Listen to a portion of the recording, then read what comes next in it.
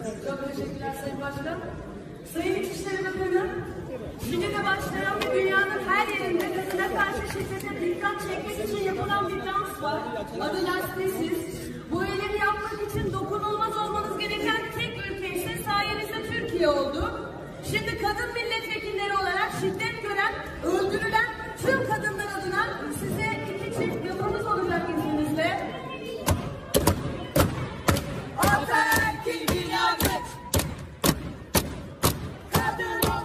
suçumuz. Kestiğiniz cezamız. Seyrettiğiniz şiddet.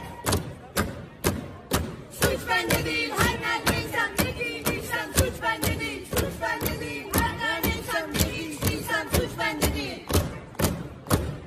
Tecavüzcü. Öldüren sensin. Polisler ultimate